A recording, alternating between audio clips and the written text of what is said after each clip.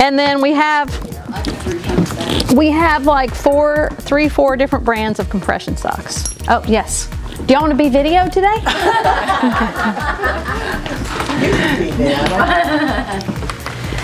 so here's my theory. They're compression socks. Yes.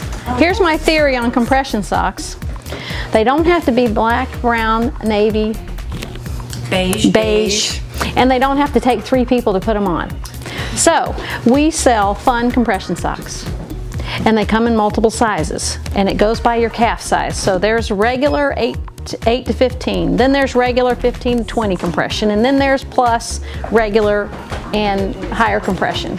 Then we even have if you need compression socks but you still want to wear your sandals, we have toeless compression socks. That's great. And they're fun, they're funky, they're crazy. We still carry, I'll prove it, we still carry your basic colors. But who wants to wear that every day? I want to I want people to have fun. And we've had who Patricia, don't you have you bought these for somebody in your oh, family? Yes. For traveling. How old? Uh, I know you bought them for somebody older, I thought. I bought it from my aunt who was 92. So here's her 92 year old aunt wearing like flamingo compression socks. It just gives a little pep in your step. And for traveling, for flying, even if you don't haven't been told you need compression socks, it does help when you when you fly on an airplane. Yeah, Tell me why, why that's important.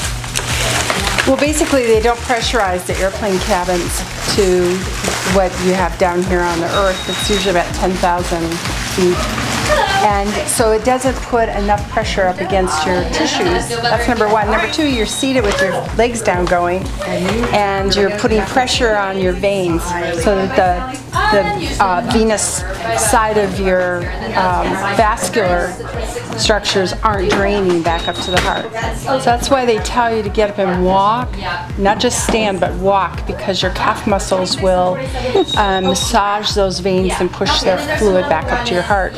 But these help because you have little um, cusps in your veins that become incompetent as you get older, and they start to give way, leak back, and that's why your feet sometimes will start swelling up. So by wearing a compression socks, you're pushing those together and preventing that backflow. So those are several reasons why you would want to wear Yeah. compression stockings just on an everyday basis. Yeah.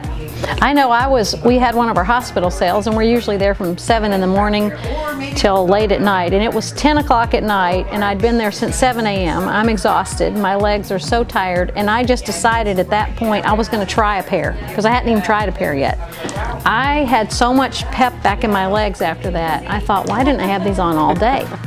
But it, it is amazing what uh, compression sock can do. And these are fun and they're not too thick, you know, because it's Florida. So we need, we can't have them be totally, Yeah, no, they're not thick. I wear those. yes. And then we do have the thicker ones. It really, it's personal preference. We go to the hospital sales and 50% of them will buy the thicker ones and the other half buy the thin ones. So I've never even tried on yeah, ones. well, we'll get you a pair.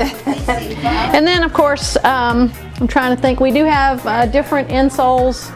There's a, and different little things for extra metatarsal support or a heel straightener, just minor little fixes to put in your shoes. Um, and when you need the major stuff, she's she's there for that. I am not gonna try to diagnose anyone. it's not my area of expertise.